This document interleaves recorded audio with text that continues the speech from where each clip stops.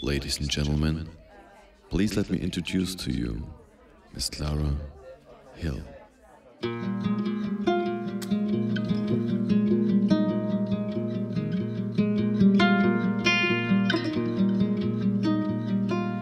Put your head down, see birds are flying.